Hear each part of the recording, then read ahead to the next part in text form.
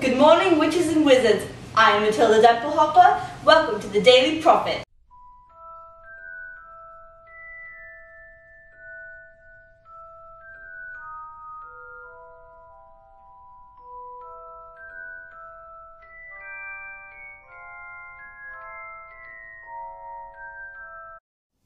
We're starting out our news today with a serious event. Sirius Black has just escaped from Azkaban.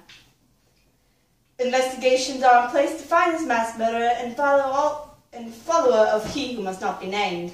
The Department of Magical Law Enforcement and the Ministry of Magic have asked us to let you know that if you've seen or know anything about his current whereabouts, send an owl to the ministry.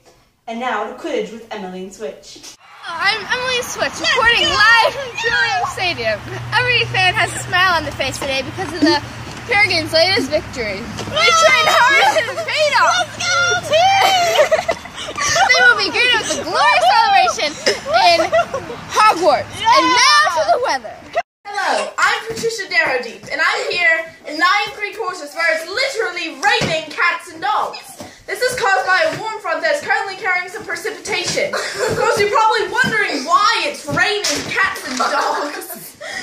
But I'll tell you, it's a wizard. There goes another good weather person. This year is the year of the Great Central Migration.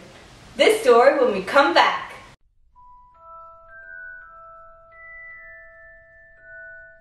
Take out the papers and the trash. Carrying some participation. Participation. If you don't start that kitchen floor, Wait, what? Oh, yeah. you ain't gonna rock and roll. Oh, I'm Patricia.